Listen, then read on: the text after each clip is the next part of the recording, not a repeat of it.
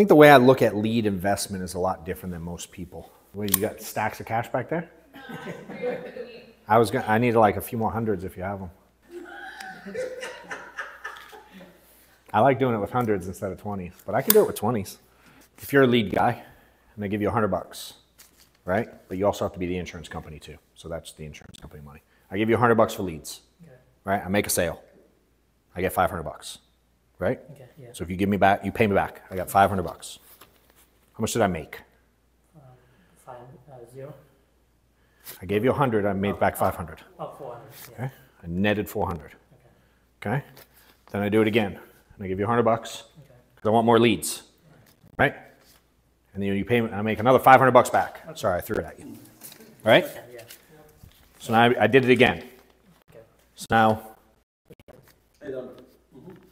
Eight hundred out of two. Netted. sure? See, I look at it different. Yeah. To me, I use the same 100 bucks. Okay. Right. This is the same $100. So I really only spent a 100 total, where in your head, you spent 200. Does that make sense? Makes sense. So when you spend a thousand this week and a thousand next week, in your head you spent two thousand bucks. I only spent a thousand twice. I spent the same thousand twice because I got it back. Because you got it back, yeah, yeah. I just, I just, if I drew on this dollar bill and every, and I just did this all day long, it ain't, it's the same hundred dollar bill. Does that make sense? So when people are like, I spent a hundred grand on leads a year, I'm like, no, I just spent a thousand bucks a hundred times. I just keep taking the same money and giving it back. Does it make sense? Yes. And it's um, the mental approach for me. I was like, yo, I do this all fucking day. And th- here's the way I do it. Let's say I take a hundred bucks to Vegas, okay, and I go over here and I play blackjack, and I win back five hundred. And then I go over here and I give him hundred bucks on fucking poker, and I get back five hundred bucks. And then I go over here on roulette and I put hundred bucks and I get five hundred. I only went to Vegas with what? Y'all would never say I spent 300 in Vegas. You'd be like, you went with 100 and you came back with 1500 bucks. Fucking win. Does that make sense? But when it comes to you're like, no, you spent 100 there, 100 there, 100 there. Right? I, I, I think uh, it's only, you're gonna think that you spent that if you didn't make any sale from a thousand dollar of lead with this part. I mean, that's the only way that's going to happen is you don't fucking work. Yeah. Let's be real. Okay. Fair? I don't know anybody that's ever disputed that. You spend a thousand bucks on leads and don't make money, there's you would never convince me you worked them. I just I don't buy it. Has it ever happened to you? In the past, I, I, I did. Me too. Yeah. But I could look back on it and go, did you really work them? That's correct. That's it. Ah, probably not. Probably not. You know what I'm saying? And again, is it a trick in my own mind? Yes and no, because I actually truly believe. No, again, if I just change the scenario to fucking Vegas, you're all bought in. I only spent 100 bucks. I'm- because if I went, hey, how much did you tell your, I don't know if you're married or not, but how much would you tell your wife you went to Vegas with if you if you gambled all day long? 100 bucks this table, 100 bucks at that table, 100 bucks a hand. Ah, you'd be like, babe, I only took 100 bucks. But with leads, why can't we go, it's 1,000 bucks all year? I just keep fucking doing it. You know what I'm saying? And that approach, man, it got me it got me to a point where in the normal insurance person's lingo in 20 I think what year it was, 2017, I spent 400 grand on leads. I didn't sell insurance that year. I spent 400 grand on, on leads that year. Huh? I remember hearing that, or you spent like eighty K one year to, um, to make it like, what was it? on my own. Yeah, I, s- your- yeah, I spent 80, but I, in my head I didn't. But that was everybody else's lingo. I just put 1500 bucks a week in and I'd make fucking eight, 10 grand a week and just put the 1500 bucks back in. And I'm like, it's the same fucking money. It softens the blow. That's making it sound like that. It softens the blow of the money that. And it's, it's, you just have to remember when you get paid, just allocate the lead money and go, whoops, that one, that's not my money. Y'all all agreed I only made 400 bucks. So everyone's not confused there. But you get an insurance commission, you're like, I made a thousand bucks. No, you didn't. Does that make sense? You didn't make a thousand bucks. Correct. You got the lead money in there. You know what I'm saying? It's just a way of looking at it the right way at the right time. And so for me, it was all timing. So I wasn't too afraid to invest that aggressively because I knew it was all coming back. When I look at what I made that year, I'd have fucking, I wish I spent 800 grand that year on leads because I'd have made fucking three or four million bucks. You know what I mean? But putting 400, I made, I made like 1.8. And again, it was, it wasn't all out at once. It was like, let me buy these few agents leads. They went make money. I made overrides. I found a few other agents, invested in them, made overrides. Took the money again, put it. o- It was just taking the same money and putting it back out. It's business. You know, pick a business. It, they all work that way. You know, you go to McDonald's, you fucking buy stuff. They go buy food. They get the food, they sell it, they get the cash back in, they allocate more the same money back to the food. Put 30% towards food every time. You know, and so it's understanding when you make a sale, some percentage of that, call it 25%, it's just the lead money coming back to you. And you just got to reallocate it back in. You know, so I, we got to catch it on both sides, the spend side, but the deposit side too. We got to look at it and go, I only made 750 because 250 needs to go back to leads or 500 needs to go, whatever the number is in your head. But it made it really simple for me to understand the investment side, you know, and I'm like, I would do that all day long. And let's say I invest today a hundred thousand bucks, right? And I put it wherever. What would be a on a- a good return? Twenty percent? Twenty percent? What do you think would be a good? I say good. A good return. Yeah, like 25, 30. That's fucking phenomenal Yeah. return. That's not good. Fair? Tell me where you can turn 100 into 125, putting it somewhere right now. Where do you know that you can do that? Uh, you get, you get five percent. Maybe five percent. That's five thousand naira. That's my point. Does that make sense? Like 5% is good. What, what would you get if you put it in the bank? And if you put it in the bank, if it is a CD, maybe three and a half, three five. Okay. So it's 3,500 bucks is Yeah. a CD. Okay. What if it's just in your savings account? Oh, you get zero point nine percent. So 900 bucks, Yeah, right? yeah. On the savings. Where can you where can you get 25? If you put it into an IUL. I mean, what's You a get six? 6%. Yeah, it'd be But six. that's not just six percent. They're gonna take the cost of the insurance, and then you get six percent of the remainder. Yeah. And if you put hundred thousand, that means you wanna pay your annual dues, so they take one ten thousand dollars, then you get six percent of ninety. Correct. Which is still five percent. Yeah. You invest in Bitcoin. Yes, and you can lose it all. 100%. Can go the wrong way fast. Annuities, you get six percent, five to six percent. Okay? Yes, So call it 5k annuity, yeah. but you can't touch it, but you can't touch it. Yeah, no, no, no. If you touch it, you pay another. You can't you can't touch it here, you can't touch it here, That's correct. right? It doesn't work. It doesn't happen anywhere. So 100 grand, you'd be fired up out of your mind to make 20. Right? A year. A year. A year. We forget that part too. I'm going, Matt, what could you make if you dropped five grand on leads today? Ooh. Let's start. Let's start with you've sold the least, right? What do you think you could make if you put if I give you five grand worth of lead? Let's say you could get, let's say, let's say thirty bucks a lead. Five thousand divided by thirty. Let's say you get 160 leads. Pick your kind. I don't care. What do you think you could make if you had that? Just rough idea. I know you don't know the business at all. Um, I will say you get a hundred, you say a hundred leads? 100, it'd be 160 at 30 bucks a pop. 160 166. leads. Yep.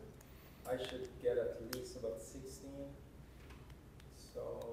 So 10, selling 10%? Yeah. That's where you got that? 10%. Yep. Follow. I should make ten percent and then depends on my. Okay. commission. So 16 sales. Right, so it sixteen sales Okay. and. And say, let's say you only make 500 bucks a sale. No, a thousand dollars. No, no, no, no. We're going to go conservative, bro.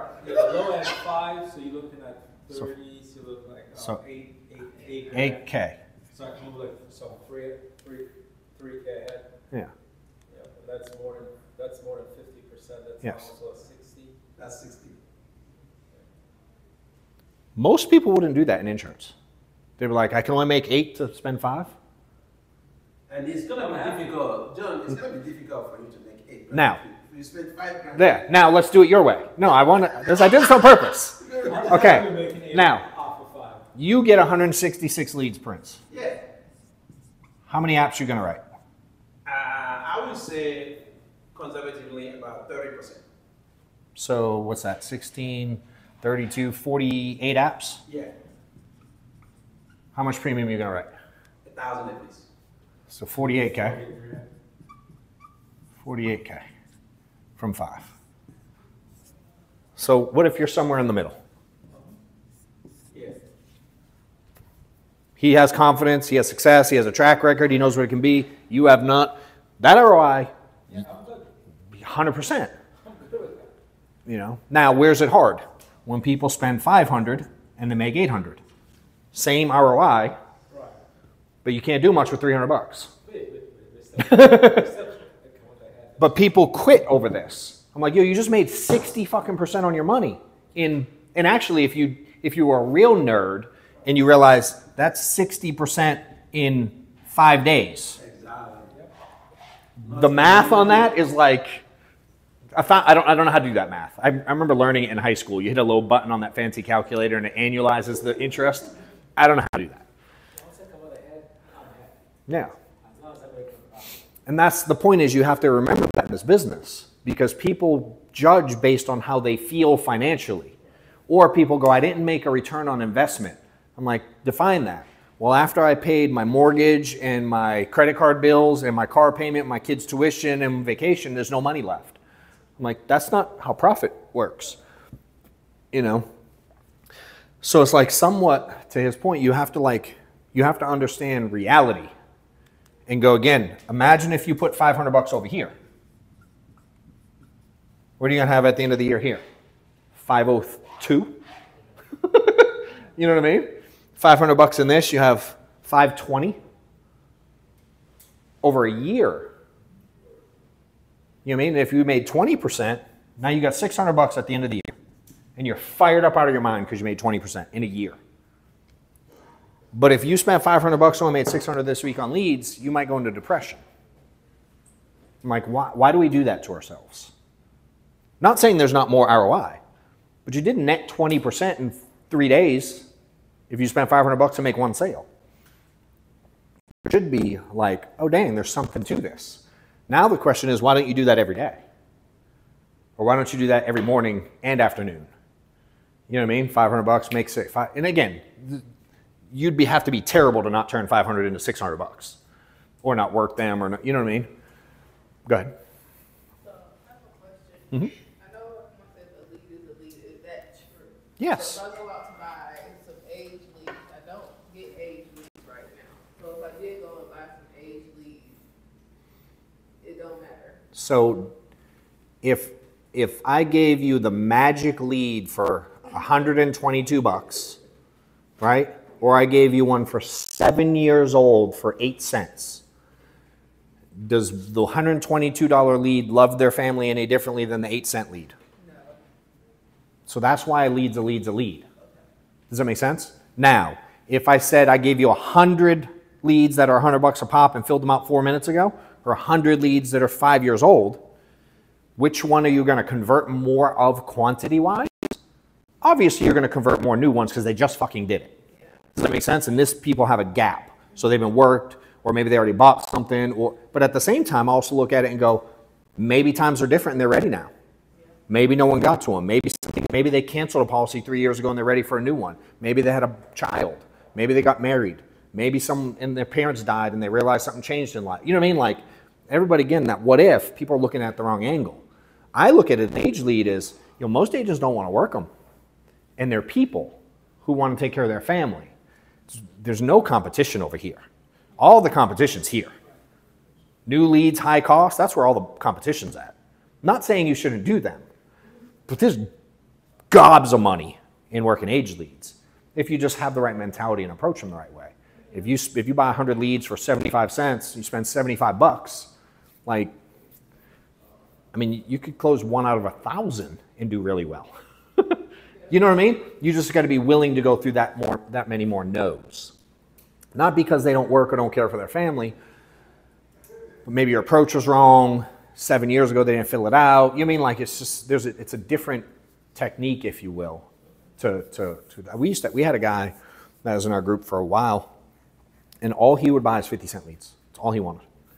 He would write three hundred grand a year on. But his approach was really simple. He was like, "Hey, just calling you back. I'm a manager over here. A while back, a few years ago, you filled something out. My my records don't show that anyone got this out to you. Can you confirm that?" It was like really stupid approach, but it worked really well. And he's looking for like, yes, they contacted me or no, they didn't. It wasn't like trying to pitch away. It was like just follow up. You know what I mean? Hey, just my records show nobody got a hold of you yet. Can you confirm? Really simple. Did anybody get to you yet? Don't show we did. You know what I mean? And it's it's the angle and the intentionality of it that worked really well for him. It was very non-aggressive. It was very simple. Like the door knocking thing, I, it kind of brought me back. I what do you do when you knock on someone's door? How do you how do you approach it? Hey, so my name's Lindsay Cohen. I, you had filled out a lead a while back and I just show them their Yep. information. So, uh, I just wanted to see, have you, is that something that you've been able to take care of? Or Are you still shopping around for it? Yep. Whatever, or they, you had requested info and so I was just delivering that info. And they called me back because they. How's the- door knocking, The delivery opening? How's it go right there? Is that where you get most of the fall off? Yeah. Most of the pushback? All right, Can I give you some advice? Yeah, You know what? I, I like to play stupid a lot. right. Like I do it all the time. I was having like an email fight with someone yesterday a little bit. We like conflicted, and I had to end it. So I chose to play dumb to get her to explain what I wanted her to explain because she was trying to prove a point and I was trying to prove a point, and I'm like, all right, let me play like a fucking idiot, and I did, and she and it all went away. But when I would door knock, I like again, I don't want the confrontation. I don't want someone feeling like the sales part right away. I don't. I wouldn't want that on me if I were there, but I wouldn't fill out a lead either. Yeah, So I don't take too much account into that. But I could see the body language when I did that. Like it. Shifts. People come with hesitation first of all. Like who? Who are you? That's real. That's there. I don't think most ain't coming like armed and ready to do any. But there is like, oh shit, who's here? You get a little of that. And if you, I felt if I went into sales too quick, I immediately would get shut down. So I would do everything the same as you did, except I pretended that we couldn't get a hold of them, and I needed I was the guy they sent out to verify the phone number. okay. I just I would literally I'd be like, "Hey Lindsay, hey John, hey my office sent me out to double check the right phone number. They said they haven't been able to get a hold of you. Is your phone number right on this?" Right. And I'd hand it to them. Yeah, Ninety-nine percent of the time, they'd be like, "Yeah." I'd be like, "Oh, you probably like me and don't answer phone numbers you don't know, huh?" They'd all go, "Yeah, I get too many phone calls." Uh, I'd be like, "Cool," and now would convert into the new guy, the same guy that was just the dipshit that checked phone numbers. I'd be like, "All right, well, I'm the guy that they send out to make sure I get you all the information on this," and then I would go into sales. yeah. Does it make sense? Sure It's just have a proper plan. That's it. is the other thing that I Yeah. did. I mean, I would go, you know what I mean? From there, I would go, hey, I'm just the one that they send to get the information out. It takes like 10 minutes to see if you're eligible for anything. Do you have time now? Do you have time Tuesday? I, I depend on my schedule. That was it. I was just basically trying to book an appointment. I didn't get into like, do you have it? Do you not? I don't like that. You know what I mean? Did you get it taken care of? You're asking for objections because it's easy to go, yep, I got it. Does that make sense? I'm going like, yo, I'm just the guy that's here to see if you're eligible. It takes like five or 10 minutes. Do you have time now? And, and that was it. So my in was check the phone number, and then right after they, they all said it's right, 99% of them. Every once in a while there was one that I didn't have the phone number, they were missing a digit or something stupid. But for the most part, I knew I had the right phone number. Many times they told me no on the phone already. Right? It's a complete act. And they'd go, nah. I'd be like, oh, okay. Well, I'm just the guy that's here to get you the information. You know what I mean? Super, super easy and smooth. And that kind of like dumbing it down, dude, everybody's guard dropped instantly. Because I could get that out quick. Hey, I'm just got here to check the phone number. My office said they haven't been able to get a hold of you. Ma, it wasn't me. I didn't say I've been calling you and can't reach you. I never did that. I like dif- diverted, Yeah. even though it was me. And dude, I sold a shit ton of insurance door knocking. You know, when I had to. Now, my goal was to never have to do it again in my life. Mm-hmm. That was the goal to get out of that, you know, and get to a point where I was buying enough leads to reinvest them. But if you're seeing like whatever your pitch is, whether in home or phone or door knocking, if you're feeling resistance at a certain point all the time, it's like, all right, how do I how do I overcome that resistance point? You know what I mean? And you start making small tweaks. And if you don't know how to do it, seek counsel from someone who sells a lot. And be like, yo, at this point, because everyone has experienced. I knock on a door and they're like, eh. Everyone's dealt with that. Everyone's dealt with, hi, my name is John, I'm calling you back. Click. Everyone's dealt with that.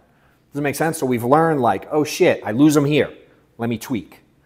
You know what I'm saying? And there's nothing y'all are going to experience that someone else ain't already experienced. The problem most do is they ask the wrong people. You know what I'm saying? So it's like, make sure you get out of your comfort, which obviously you are here, but you know what I'm saying? It's like get out of your comfort zone and ask someone who's experiencing. But just, but what y'all got to do is learn to not only like be the salesperson, but you also have to watch it. Does that make sense? So you have to be really aware of what's happening in the moment too, to go like, oh shit up, versus go, lead sucks. They didn't have it. They already got to take like they're it's maybe it's the approach that caused that reaction.